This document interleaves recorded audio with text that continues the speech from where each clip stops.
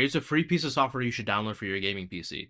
And it's called SteelSeries Sonar. This adds so many functionality, not only for gamers, but even for streamers. For gamers, the best part is going to be the equalizer that you can apply for your game. So now you could probably hear those footsteps in Apex that everyone's been complaining that they can't hear. There's also a spatial audio to help improve your spatial awareness for things, and you can go for either more immersion or for more performance for the games like Valorant or Apex. The chat feature not only adds the ability to have EQ for your microphone, regardless of what microphone you have, but also the ability to add a noise gate and a compressor.